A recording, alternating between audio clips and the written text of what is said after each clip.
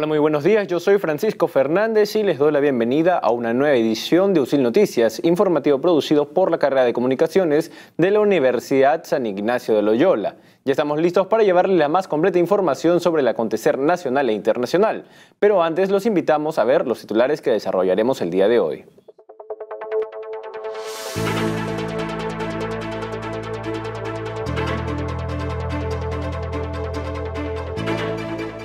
Estos son los titulares del martes 22 de octubre del 2019. La OEA expresa su profunda preocupación y sorpresa por conteo de votos en Bolivia. Una aventura cultural e histórica ofrece el pueblo viejo de Omas, una ciudad oculta entre los cerros de Yauyos con edificaciones que datan de los primeros años de la colonia. A casi un año de la creación del Club CAE, la Junta Directiva expuso los avances logrados hasta la fecha y presentó a los delegados que participarán en el Festiusil 2019.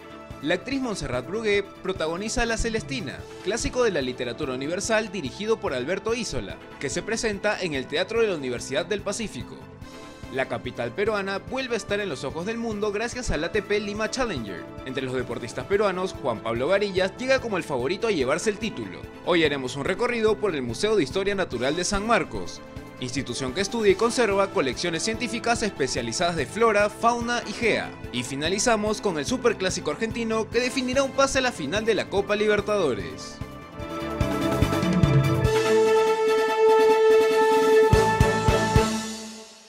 Bien, en ese momento se encuentra personal de la Fiscalía junto a, agentes de la DIVIAC este, realizando un allanamiento en las viviendas de Luciana León, eh, miembro de la Comisión Permanente, y de su hermano Rómulo León eh, Romero, por el, en el marco del caso de la investigación por la, eh, contra la organización criminal Los Intocables Ediles. Pero antes de desarrollar ese tema, vamos con las portadas del día.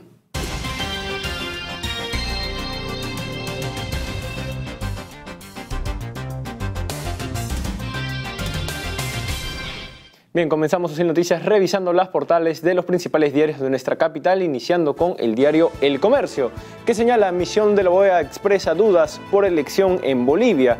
Indica que en cambio indica que el cambio en tendencia de resultados preliminares que anticipaban una segunda vuelta es drástico y difícil de justificar. Hay sospechas ya que el conteo rápido oficial daba anoche el triunfo de Evo Morales al sacarle casi 10 puntos de diferencia a Carlos Mesa, quien acusó un fraude y además Sigue tensión en Chile por disturbios. Vamos con la portada del diario de la República. A, Forazo en Bolivia. La OEA cuestiona la elección de Evo Morales y afirma que hay un cambio inexplicable en la tendencia difícil de justificar y además el panorama en Chile, que hasta el momento, ya incluso en este momento se señala que son más de 15 fallecidos en el país sureño. Protestas y saqueos en distintos puntos de la capital y algunas regiones desbordan a caribaneros y el gobierno de Piñeira que convoca a los partidos al Palacio de la Moneda. Y Deportivas con el Bocón, ataque total, vuelve la bandera y Quintero arriba, junto, que junto a jóvenes espera romper la sequía goleadora de la U y consolidarse en el campeonato en el, liderato, en el liderato de este campeonato este sábado ante Cantolao. Además, una final histórica, campeón del fútbol femenino saldrá este sábado entre la U y Alianza Lima en el Estadio Nacional.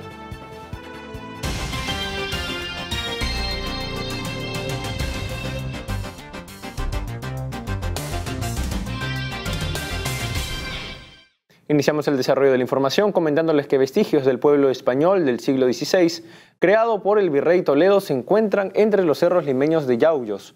El nombre de esta ciudad, eh, de esta pequeña ciudad, es Omas, un lugar para hacer turismo cultural y de aventura.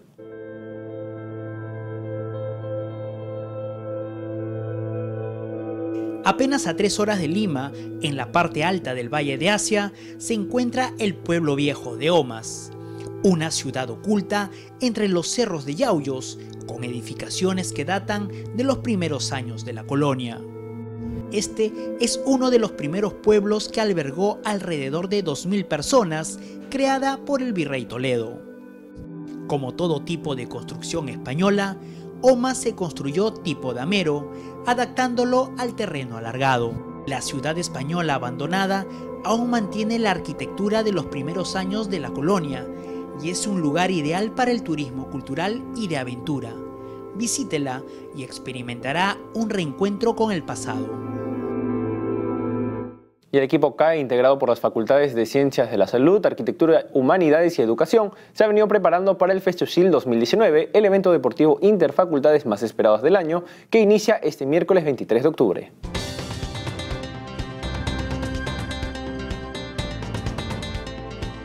A casi un año de la creación del Club CAE, la Junta Directiva de Alumnos se reunió con sus directores de carrera para mostrarles los avances que se han logrado hasta la fecha y para presentarles a los delegados que los representarán en el Festusil 2019 interesante, muy buena porque eh, fortalece los lazos de nuestros alumnos en las distintas carreras, fortalece sus redes y sobre todo también nos ayuda en la captación de los talentos que puedan fortalecer los diferentes equipos que van a competir ahora en el Festusil. Gracias a esta iniciativa, alumnos de primer a décimo ciclo han entablado lazos de amistad y vienen fortaleciendo habilidades como liderazgo, trabajo en equipo y organización, entre otros. Este ha sido el primer año del club, se han hecho diferentes tipos de eventos, eventos culturales, deportivos. La idea es poder integrar a las cuatro facultades que integran CAE, que son Ciencias de la Salud, Arquitectura, Humanidades y Educación, y trabajar bueno, de cara al FESIUSIL, que ha sido nuestra prioridad este año. Alrededor de 60 alumnos del Club CAE harán su máximo esfuerzo en las siete competencias del FESIUSIL que este año se realiza del miércoles 23 de octubre al jueves 7 de noviembre. Definitivamente estamos con todas las expectativas, con muchas ganas de superar los resultados de las ediciones anteriores. Ahora también con la reciente incorporación de la carrera Ciencias de la Actividad Física y del Deporte, también tenemos deportistas que están sumando a los deportistas ya existentes en, en CAE. Entonces, definitivamente tenemos las, las, mejores expectativas del mundo de mejorar los resultados. Les comento que el club ha venido trabajando durante un año de la manera adecuada. Eh, nos hemos venido preparando desde el siglo pasado para el Festiusil con el tema de interclubes que tuvimos el año pasado y nada, esperamos poder ganar todas las copas.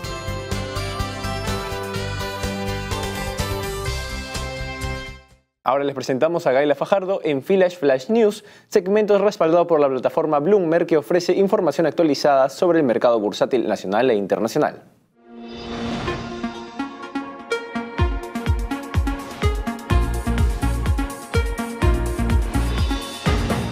Bienvenidos, soy Gaila Fajardo y este es el reporte interdiario a través del Philip Flash News, microprograma elaborado con plataforma Bloomberg, a la cual la comunidad UCIL puede acceder en Finance Investment LATFILAB. Empezamos con el análisis local. En el mercado local, el índice general de la Bolsa Valores Lima tuvo una pérdida de menos 0.01% desde el viernes 18 de octubre hasta el lunes 21. Las empresas con el mejor desempeño fueron Nexa, con 2.94%, Cerro Verde, con 0.57% y Alicorp con 0.43%, mientras que la empresa con el peor desempeño fue Panoro con menos 3.41%. En el mercado internacional, el día de ayer lunes, por consecuencia de las conversaciones optimistas con respecto a las negociaciones comerciales entre Estados Unidos y China, que se espera que se llegue a un acuerdo a fin de mes de octubre, la rentabilidad diaria de Estados Unidos fue de 0.62%, la empresa con mejor desempeño fue Coty con 13.68%, mientras que la empresa con el peor desempeño fue Maxon con menos 3.63%. Esto ha sido todo por hoy. Los esperamos próximamente con más noticias. Muchas gracias.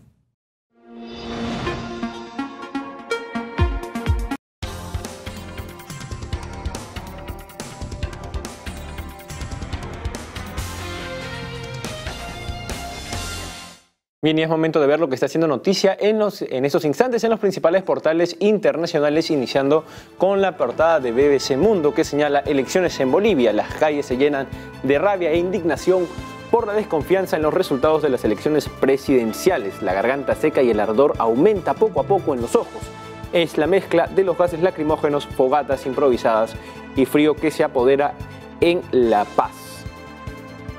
Vamos con la portada de CNN español que señala cifra de muertos durante protestas en Chile se eleva a 15, información de último minuto.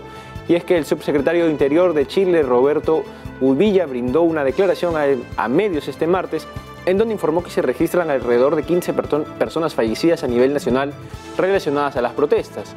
Ubilla informó que eh, a nivel en todo Chile se observaron una disminución de hechos violentos relacionados al vandalismo y saqueos. Además, se indica que la cifra de fallecidos relacionadas a estas protestas ascendió a 15, 11 de ellos en la región metropolitana y además donde se confirma que habría un peruano que también fue víctima de estos eh, hechos en el país sureño.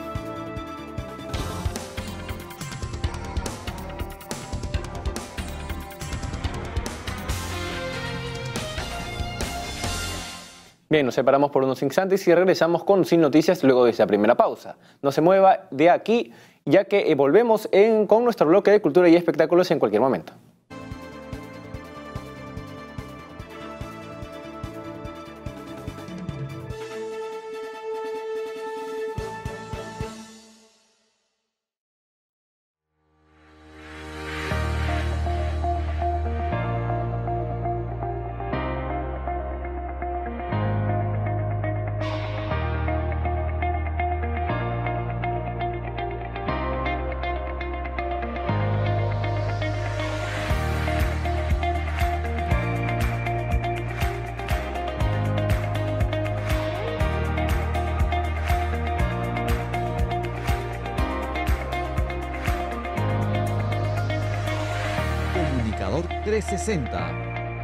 Un profesional integral que se adapta al cambio.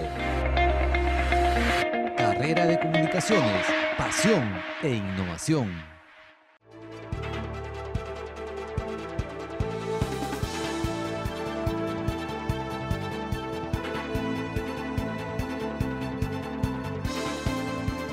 Sigue el pulso de la actualidad informativa a través de USIL Noticias.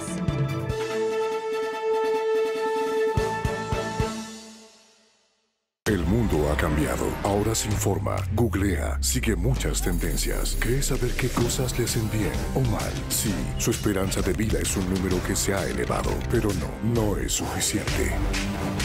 Para que la salud siga evolucionando, son necesarios nuevos médicos, formados para lograr el equilibrio entre curar con excelencia y prevenir para crear conciencia, para llevar a la medicina más allá. El mundo de la medicina crece con USIL. USIL, ¿de qué tamaño es tu mundo? Mi mundo. Mi mundo no es mi cuadra. Mi mundo no tiene límites. Mi mundo es del tamaño que yo quiera. Es el tamaño de mis sueños. Cuando pienso en el futuro, pienso dónde voy a estar. Porque el mundo es mío. Por eso busco una universidad que me acompañe, que me demuestre que el mundo es más grande de lo que yo creía, que me enseñe a lograr lo que quiero, a pensar en los problemas del mundo y a encontrar soluciones. Usil, ¿de qué tamaño es tu mundo? Cuando te hablen de deporte, quiero que entiendas que es más que sacrificar madrugadas. Más que correr 5, 10 o 42K. Más que sudar, sudar y sudar. Lágrimas, ira y frustración. Dedicación, esfuerzo y pasión. De muchos. Cuando te hablen de deporte, entenderás que no solo se trata del deportista. Y que, cuando las luces nos enfoquen a nosotros, enfocarán también el trabajo de ellos por nuestro bienestar, salud, desarrollo y mejora día a día. Crece el deporte, crece mi mundo. Usil.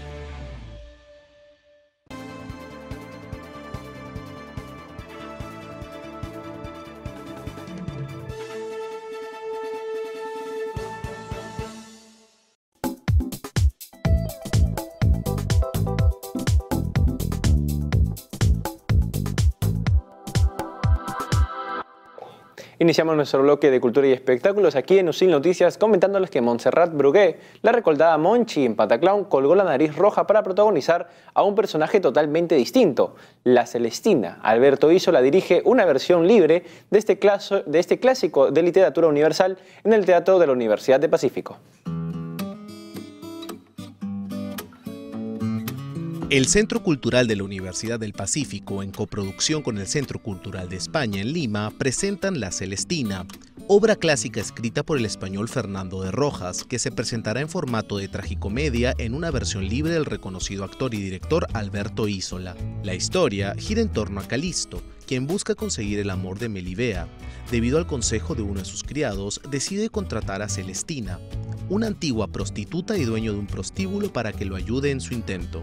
Este nuevo montaje de este clásico de la dramaturgia mundial es dirigido por Alberto Isola y cuenta con las actuaciones de un destacado elenco, encabezado por la reconocida Montserrat Brugue en una de las mejores interpretaciones de su carrera, junto a Lali Guimarrey, André Luna, Oscar Mesa, Mayra Nájar, Roberto Ruiz, Lilian Chiapa Pietra y Patricio Villavicencio. Las funciones serán todos los viernes, sábados y lunes a las 8.30 pm y los domingos a las 7 pm en el Teatro de la Universidad del Pacífico, ubicado en Jesús María.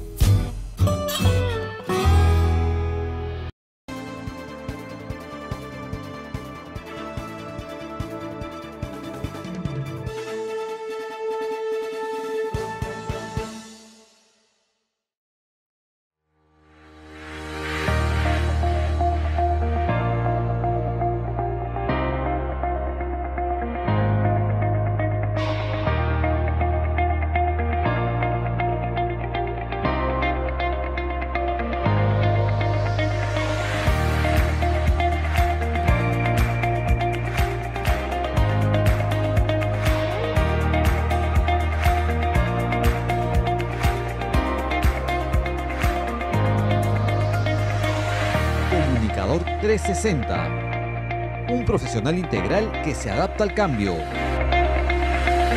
Carrera de comunicaciones, pasión e innovación. El mundo ha cambiado. Ahora se informa, googlea, sigue muchas tendencias. ¿Cree saber qué cosas le hacen bien o mal? Sí, su esperanza de vida es un número que se ha elevado, pero no, no es suficiente.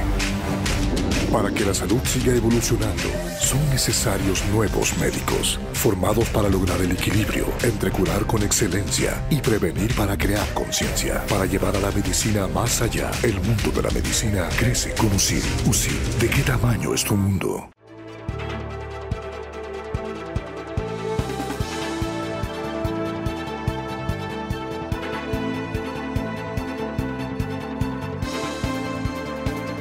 Pulso de la actualidad informativa a través de USIL Noticias.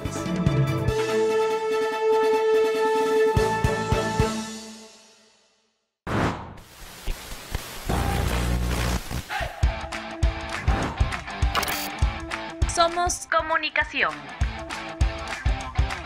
Somos innovación. Somos entretenimiento. Somos pasión. Somos Radio Frecuencia USIL. Frecuencia USIL.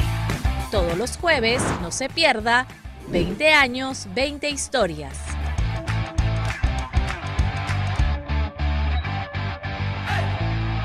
Mi mundo. Mi mundo no es mi cuadra. Mi mundo no tiene límites. Mi mundo es del tamaño que yo quiera. Es el tamaño de mis sueños. Cuando pienso en el futuro, pienso dónde voy a estar. Porque el mundo es mío. Por eso busco una universidad que me acompañe,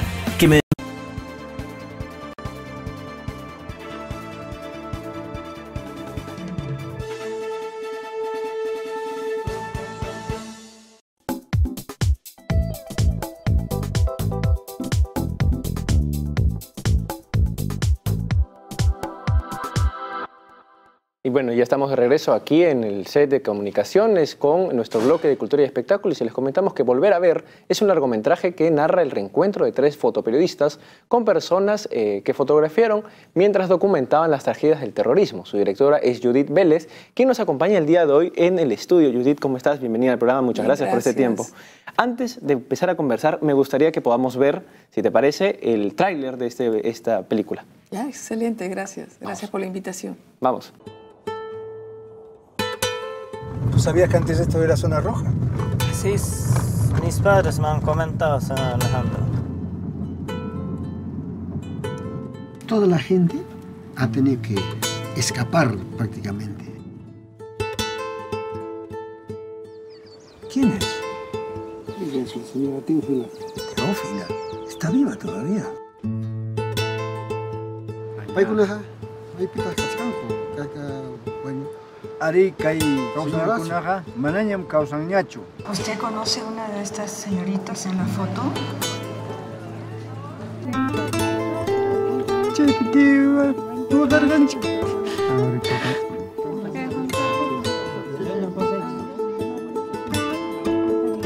Tú estás tú aquí y yo soy el que te tomé la foto. Señor Medrano, por favor, lo único que yo quiero es encontrar el lugar donde está enterrado mi hermano. Cuando empezó el terrorismo, entraron 200 senderistas y quemaron la, la municipalidad. Y lo que estaba pasando en ese momento era que eran pueblos inermes. No había presencia de las Fuerzas Armadas. Siempre me pregunté sobre todo lo que tuvieron que enfrentar estas jóvenes para sobrevivir en estos tiempos de violencia.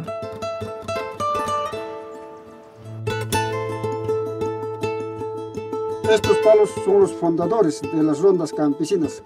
Con esto nos hemos defendido. Sino que mana wara kai kang man kara kai naptin gal ya pai ku tuanyu man kara wawachai ku señora ku señora ku no tuanyu ku man kara.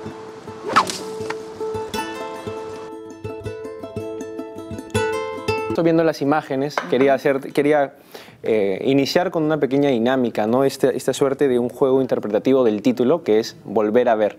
¿no? Cuando uno habla de volver a ver, algunas personas piensan en cerrar un ciclo, ¿no? y cualquiera que pensaría eh, al escuchar ese nombre de este, de este documental, de esta, de esta película, diría que es una película para cerrar un ciclo y, se- y dejar por fin atrás todo lo que pasó.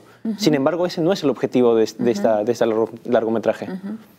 Bueno, en realidad, eh, en volver a ver, muchos protagonistas del conflicto armado vuelven a ver, eh, un poco vuelven a reflexionar sobre ese evento trágico que vivió el Perú en los años 80, ¿no? Y la distancia temporal permite, eh, cada vez que uno se acerca al tema, tener diferentes eh, interpretaciones, ¿no?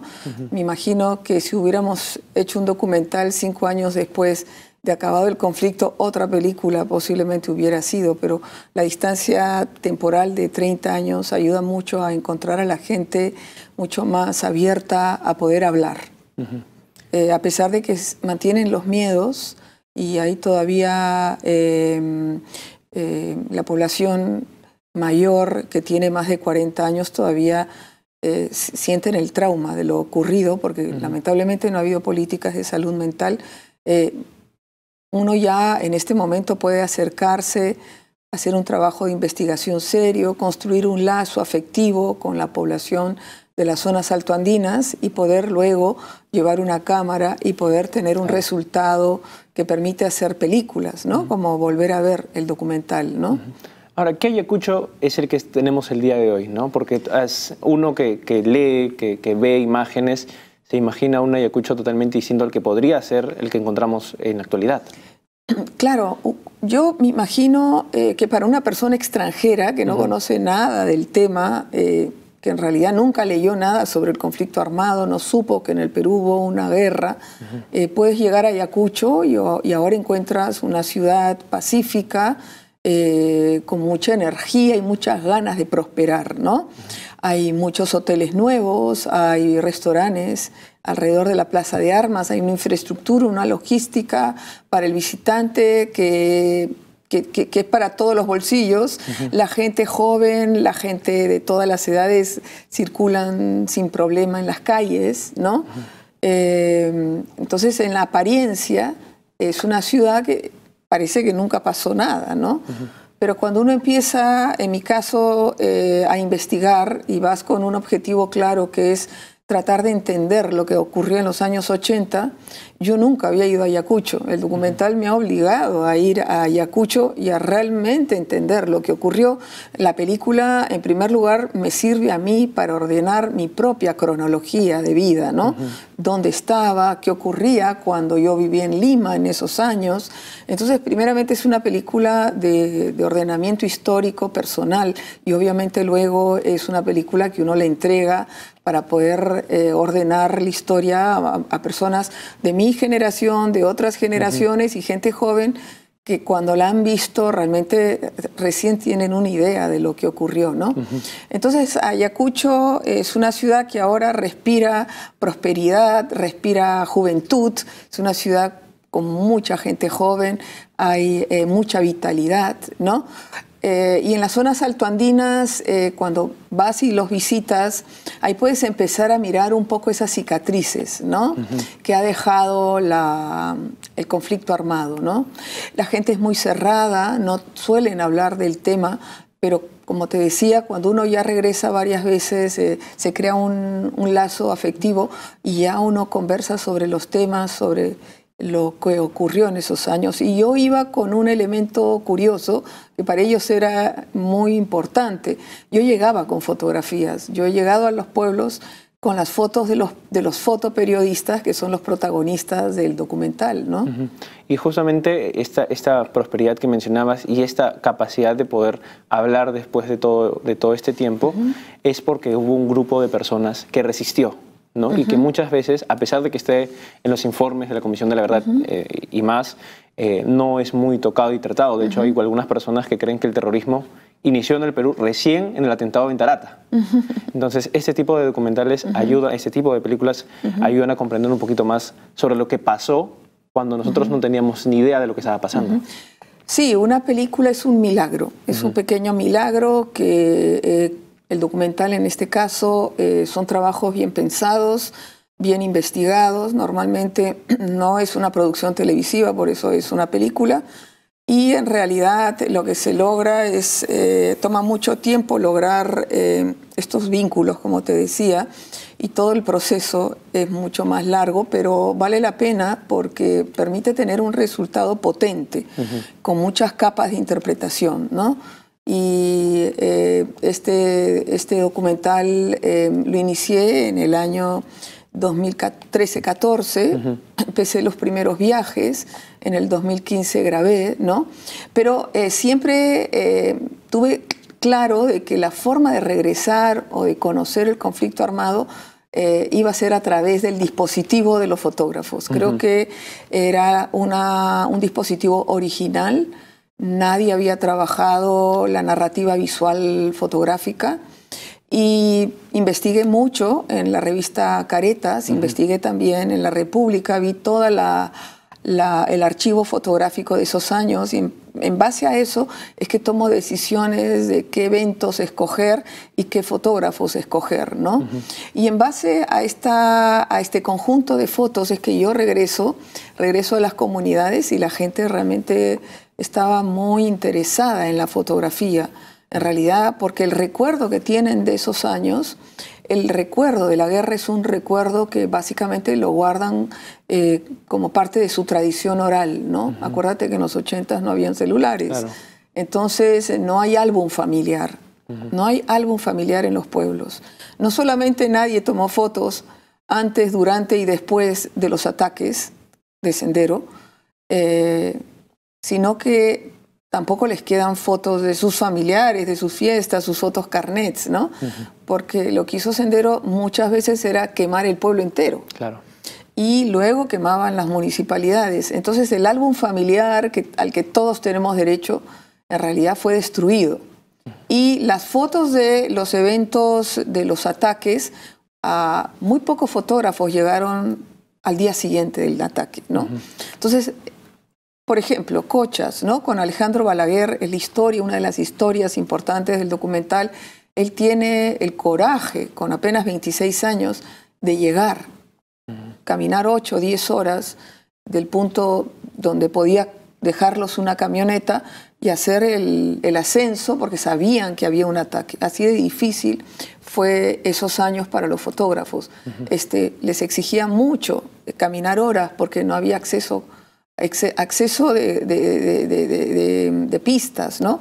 Pero bueno, eh, sí, ese es un poco eh, cómo, ha ido construyendo el, documental, ¿no? Y como mencionas, tiene a tres personas, a tres fotoperiodistas como vínculos, como si bien los protagonistas son, es el pueblo de Ayacucho, eh, tiene a tres eh, fotoperiodistas que son el camino, son el vínculo para poder eh, iniciar la trama narrativa, que son bueno, Oscar Medrano, Alejandro Balader y Vera Lenz. ¿Cómo fue el trabajo con ellos y cómo fue la, bueno, la investigación de cada una de, las fotos que se tuvieron que seleccionar para luego ir por estas historias hasta allá? Sí, la, la película se estructura en base a estas tres historias, son viajes que hacen ellos de regreso. En ese sentido, la forma de estructurar la parte de parte de las herramientas que normalmente tiene la ficción. ¿no? A mí me interesa hacer documentales que trabaja con la realidad, pero que se estructura como una ficción. ¿no? De esa manera yo creo que se puede capturar la atención del público, el documental no es aburrido, tiene un ritmo, tienen los plots bien ubicados, ¿no? Hay una intriga, hay una trama de cada uno de ellos, ¿no? Bien, eh, sí, ellos tres em, regresan a estos lugares y se ponen a buscar a sus personajes, ¿no? Cada uno encontrará cosas diferentes, no lo digo ahora para que vayan a ver el documental, ¿no? Eh, y eh, eh, fue muy emocionante realmente ir con ellos ya eh, para la grabación y ver, ver el encuentro con la población, si bien la población no tenía un recuerdo claro de ellos, ¿no? Porque claro, el encuentro, el momento en que ellos llegan a hacer las fotos es un momento bien duro y difícil. Entonces no tienen una idea clara de su llegada, ¿no? Eh, pero para, tanto para el fotógrafo, que en, el documental recuerda las circunstancias como el fotografiado, que también recuerda las circunstancias en que llega el fotógrafo, eh, yo creo que fue una experiencia bien rica para los que estábamos filmando en ese momento y eso está en, en la película. ¿no? Lo, interesante de este documental es que este, las fotos se van llenando de contenido. ¿no? Eh, la foto a la cual hemos, hemos visto al inicio en realidad no nos, no, no, no, nos permite construir una empatía, ¿no? Pero conforme va pasando la película, vamos viendo todo lo que hay detrás de una fotografía, ¿no? La potencia que tiene una imagen fotográfica, ¿no? Entonces la foto también es un hilo conductor, no solamente los fotógrafos. Lo que nos lleva y nos, nos, nos, obliga a hacer este, esta suerte de road movie, ¿no? De un pueblo a otro pueblo, en realidad lo que, lo, lo, lo que nos, nos empuja a hacer ese viaje es, es la foto, es encontrar a la gente de las fotos, ¿no? Y ahí al costado van los fotógrafos recordando esos años difíciles, ¿no? Pero el otro tema que tú mencionaste, es que creo que para mí es el, por lo cual me siento más contenta, es eh, el trabajo de la resistencia campesina, ¿no? Yo creo que pocas veces hemos sido realmente eh, eh, agradecidos, no hemos sido muy agradecidos de reconocer la lucha, la organización militar, eh, la fortaleza, la resistencia, la creatividad, la imaginación, el liderazgo que tuvieron los campesinos en esos años ah. para defender sus pueblos y defender sus familias. ¿no? En el documental se muestra todo lo que hicieron. En realidad no conocemos. Y para mí fue una sorpresa también este, descubrir realmente visitando Cochas, visitando a Guaychao, visitando a Cosvinchos, ¿no? que son los lugares donde hemos filmado, este, identificar ¿no? la, organización que hubo. ¿no? Construyeron muros, torreones, o sea, realmente eh, durante 12, 14 años eh, tuvieron que vivir eh, un poco a salto de mata, pero bajo una organización que les permitió, entre comillas, ganar la guerra.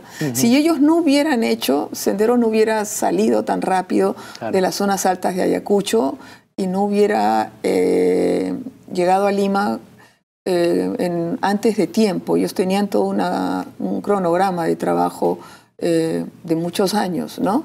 Ese famoso, este, famoso principio de hacer la lucha armada del campo a la ciudad, ¿no? Siguiendo un poco el esquema de Mao Zedong, ¿no? Eso es lo que estaba ah, tratando de hacer Abimael Guzmán, ¿no? Junto a su, a su grupo terrorista Sendero Luminoso, ¿no? Simplemente para ir finalizando, Judith, y agradecerte más bien de antemano el tiempo que nos brindas, eh, coméntanos un poquito de cómo eh, tu trabajo en Operación Victoria eh, tuvo esta relación y esta cómo potenció más tu deseo por poder conocer más lo que había más atrás de lo que había, se contaba aquí en Lima, ¿no? Bueno, en realidad eh, yo hago este documental, qué bueno que lo hayas mencionado, este, 1509 Operación Victoria, que fue un trabajo... Eh, fue un trabajo de encargo, pero en realidad fue un regalo para cualquier director recibir el encargo de hacer el documental de la captura de Abimael Guzmán. Eh, siempre hubiera sido realmente un, un, desafío, un buen desafío de investigación y de puesta en escena, ¿no? Sí, eh, es, por ese documental que yo hago volver a ver y yo lo considero los dos lados de la misma moneda. Claro. Eh, si 1509, Operación Victoria, trata sobre la caída de Abimael en la ciudad, eh, y todo el trabajo que hizo el GEIN ¿no? con los detectives de a pie. Eh, en caso de volver a ver, es también el trabajo que hicieron los campesinos en las zonas altas de Ayacucho para poder también, entre comillas, eh, pacificar sus pueblos. ¿no? En ambos casos hay un trabajo, una lucha, un trabajo organizado para poder liberarnos ¿no?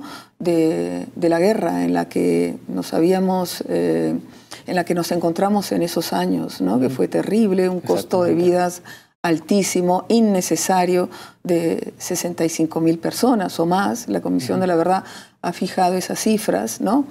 Pero lo importante acá es el origen de todos estos conflictos sociales, ¿no? Que es la, la desigualdad social, ¿no?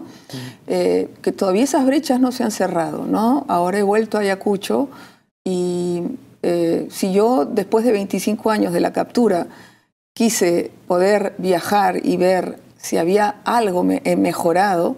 Ahora he vuelto nuevamente, hay mucha infraestructura nueva, los caminos son extraordinarios en Ayacucho, eh, hay, buena educación, los colegios, eh, la universidad, pero sigue habiendo una brecha. El campesino todavía no sigue siendo, no, un, no sigue siendo de alguna manera un sector eh, al que, del cual nos ocupemos como debe ser, ¿no? Creo que ahí hay algo, todavía una tarea pendiente, ¿no? Totalmente de acuerdo. Y se nos ha acabado el tiempo, pero antes de irnos, quiero que me comentes qué va a pasar este 7 de noviembre. Me parece que se va a estrenar ya sí. Poder el documental. Sí, vamos a estrenar en salas en Lima, pero también vamos a estar en Cusco, en Puno, en Huancayo y vamos a estar en Lima. Así que hay que estar atentos a las a, las salas de cine todavía no las tenemos eh, definidas, pero sí, la, película es para verla en pantalla grande, porque no es un producto televisivo, es un producto cinematográfico, donde trabajamos con mucha... El paisaje tiene un juego importante, un lugar importante en la narración, entonces eh, son películas hechas para la gran pantalla, la fotografía es estupenda, hecha por Marco Arauco, ¿no? Eh, eh, también el sonido, en realidad todos los elementos eh, expresivos del documental. Realmente ha habido gente de muy alto nivel colaborando, ¿no? Listo, Judith, muchas gracias por tu tiempo y a nosotros, a nuestros amigos, comentarles pues que este 7 de noviembre, atentos que se estrena Volver a ver. Nosotros nos vamos a una pausa y regresamos en breves instantes con nuestro bloque de deportes. Sigue en sintonía de Sin Noticias.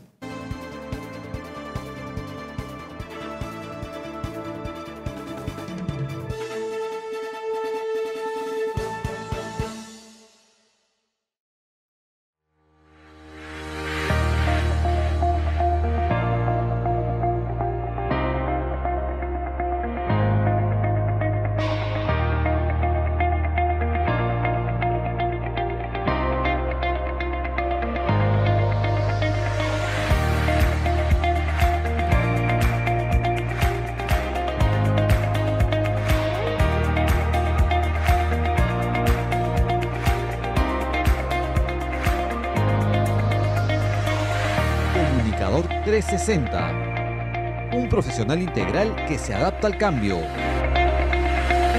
Carrera de comunicaciones, pasión e innovación. El mundo ha cambiado. Ahora se informa, googlea, sigue muchas tendencias. Cree saber qué cosas le hacen bien o mal. Sí, su esperanza de vida es un número que se ha elevado, pero no, no es suficiente. Para que la salud siga evolucionando, son necesarios nuevos médicos, formados para lograr el equilibrio entre curar con excelencia y prevenir para crear conciencia, para llevar a la medicina más allá. El mundo de la medicina crece con USIL. USIL, ¿de qué tamaño es tu mundo?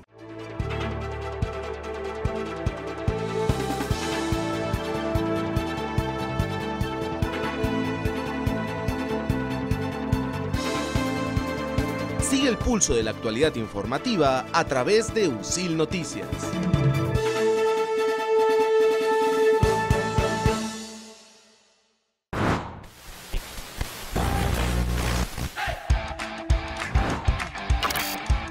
Somos comunicación. Somos innovación. Somos entretenimiento. Somos pasión. Somos Radio Frecuencia USIL. Frecuencia USIL. Todos los jueves, no se pierda, 20 años, 20 historias.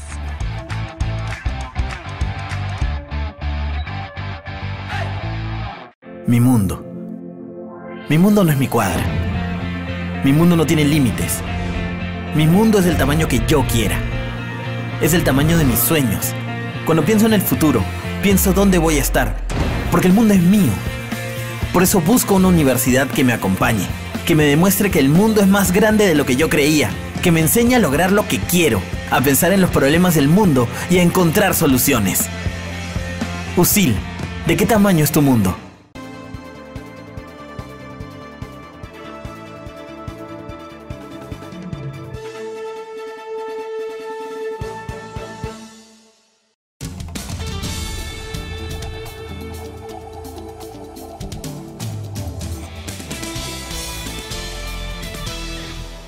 Comenzamos nuestra sección de deportes comentando sobre lo que será el Superclásico argentino en la semifinal de la Copa Libertadores tras un 2 a 0 a favor de River Plate. Los Ceneices buscarán romper eh, el resultado y buscarán el milagro en el Estadio La Bombonera a las 7 y media de la noche, horario peruano. Superclásico argentino, señores, otra vez. Tenemos en las pantallas, eh, en este caso por el partido de vuelta de la Copa Libertadores, un partido muy intenso, muy interesante. Eh, Marcelo Gallardo, el entrenador de River, ha confirmado que va a repetir la oncena del equipo que ganó o que, logró la victoria en el Estadio Monumental en el partido de ida eh, por 2 a 0. Va a mantener a Leonardo Poncio en el banco, que no estuvo en el partido de ida, eh, y va a aprovechar o va en todo caso a recurrir a la experiencia de Enzo Pérez e Ignacio Fernández en el medio campo, en el medio sector, para poder eh, resistir el resultado, para poder aguantar el resultado y poder clasificar a la gran final. En el caso de Boca Juniors, Carlos Tevez la tiene clara. Él ha señalado de que si no entran metidos al partido, si dan al menos 10 minutos de licencia, no hay manera que puedan remontar el resultado. En, Boca Juniors se habla de una crisis con respecto a sus enfrentamientos con, con River Plate, porque simplemente mencionar lo que ha sido la final del año pasado ya es un trauma para los hinchas de Boca Juniors. ¿Qué decir que este año se pueda repetir y que River Plate vuelva a eliminarlos y aún peor la posibilidad de que River Plate pueda ser bicampeón de la Copa Libertadores, algo que un club no ha podido lograr en la actual década. Incluso me animaría a decir, en los últimos 15 años no había un bicampeón de la Copa Libertadores y ese podría ser River Plate y cómo no, eliminando dos veces a Boca Juniors. Si le sumamos la del 2015 donde River también elimina a Boca, Boca, al menos los hinchas de Bocas, tendrán un gran dolor de cabeza que a pesar de que siguen, eh, bueno, eh, burlándose de los hinchas de River por el descenso, eh, la actualidad de Marcelo Gallardo y su equipo podrá tal vez opacar este tipo de burlas, de mofas por el, descenso del 2011. eliminarlo tres veces de un torneo internacional de la importancia y sobre todo de los hinchas de Boca que tanto repiten que su obsesión es la Copa Libertadores. Así que estaremos atentos, siete y media eh, hora peruana será este gran partido entre Boca Juniors y River Plate en el estadio La Bombonera. Continuamos con la información comentando sobre la tercera jornada de la Champions League. Vamos a ver qué partidos nos esperan para esta jornada que promete grandes sorpresas. Ahí tenemos el fixture para el día de hoy y es que juegan eh, en tempranas horas de la mañana, Atlético de Madrid contra el Bayer Leverkusen, asimismo en el mismo horario, Shakhtar Donetsk contra el Dinamo Zagreb, Olympiacos contra el Bayern Múnich, el Manchester City contra el Atalanta de Italia y un partido muy interesante. Con la vuelta de Radamel Falcao, el Galatasaray va a enfrentar al Real Madrid. El Real Madrid que de no ganar se complica su clasificación a la siguiente fase de octavos de final a la cual no deja de asistir desde hace casi 20 años. Además, otros partidos interesantes, el Tottenham que va a jugar contra el Estrella Roja, eh, el Brujas va a jugar contra el Paris Saint Germain y cierra la jornada la Juventus contra el Lokomotiv de Moscú de Jefferson Farfán, que obviamente aún no esté de la partida, pues sigue lesionado y entrenando en la Videna. Bien, y cambiando de información, la capital peruana vuelve a estar en los ojos del mundo gracias al ATP Lima Challenger que se disputa hasta el 27 de octubre en el Club Lau Tennis. Entre los deportistas peruanos que nos van a representar, Juan Pablo Varillas llega con el favorito, con el título de favorito para llevarse este torneo.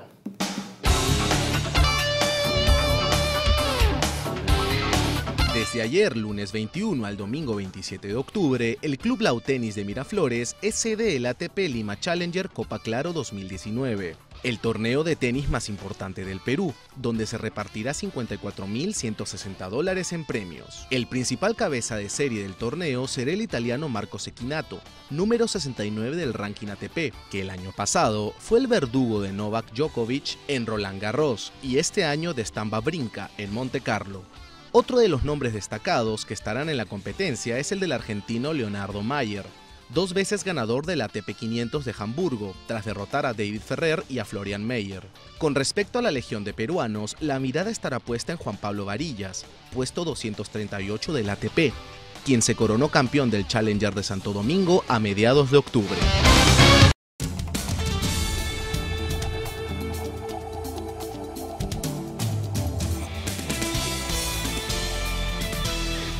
Y hasta aquí nuestro bloque de deportes. Es momento de hacer una nueva pausa comercial y volvemos en unos instantes con el último bloque del programa. Sigue en sintonía de UCIL Noticias.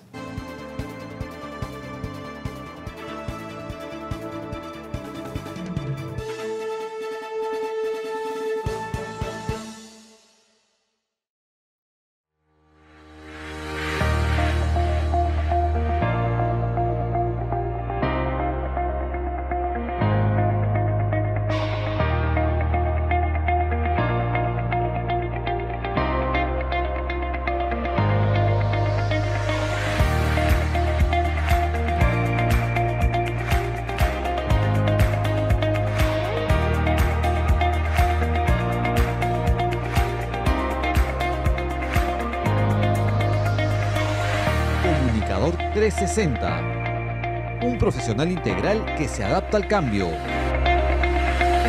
Carrera de comunicaciones, pasión e innovación. El mundo ha cambiado. Ahora se informa, googlea, sigue muchas tendencias. ¿Cree saber qué cosas le hacen bien o mal? Sí, su esperanza de vida es un número que se ha elevado, pero no, no es suficiente.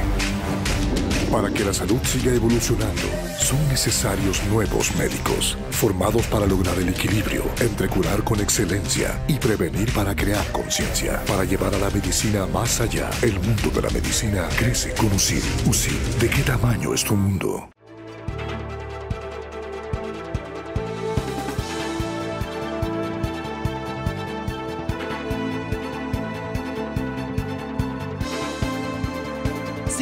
De la actualidad informativa a través de UCIL Noticias.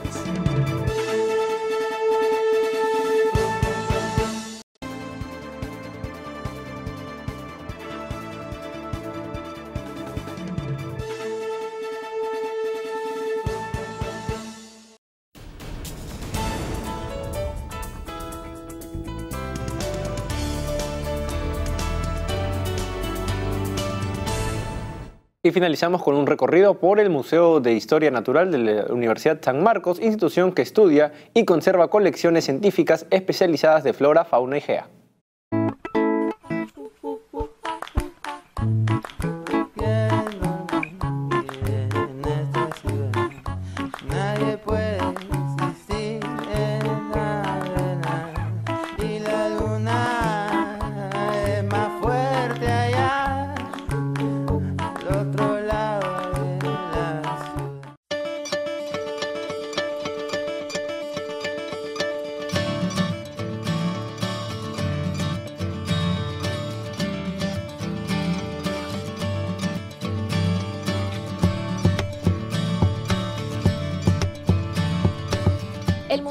Historia Natural de la Universidad Mayor de San Marcos es un museo que combina la investigación y difusión de la riqueza natural que posee el Perú. Este museo fue creado un 28 de febrero de 1918. Hasta 1934 este museo residía en la casona de San Marcos, lo que actualmente queda en Abancay. A partir de 1934 el museo es tras- trasladado al nuevo distrito de Jesús María. Creado con la finalidad de incentivar y reconocer la biodiversidad de nuestro país, el Museo de Historia Natural de San Marcos alberga ahora todo tipo de fósiles y réplicas relacionadas a la historia de la naturaleza y su evolución. De lunes a viernes el museo está abierto a partir de las 9 hasta las 5 de la tarde. Y, de, y sábado y domingo generalmente es de 10 hasta la 1 de la tarde.